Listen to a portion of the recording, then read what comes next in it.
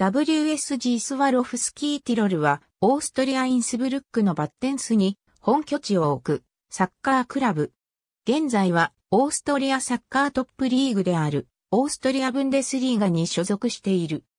1930年に設立され SC バッテンス、SV バッテンスそして WSG バッテンスと何度かクラブ名を変更して現在の WSG スワロフスキーティロルの名称になった。クラブが最も成功を収めたのは1968から71年の3年間である。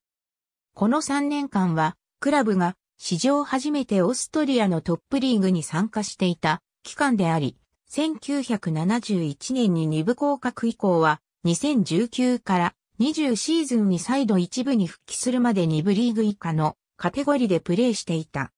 1984年、SSV インスブルックの流れを組む FC バッカー、インスブルックと合併し、2部からの再スタートを切った。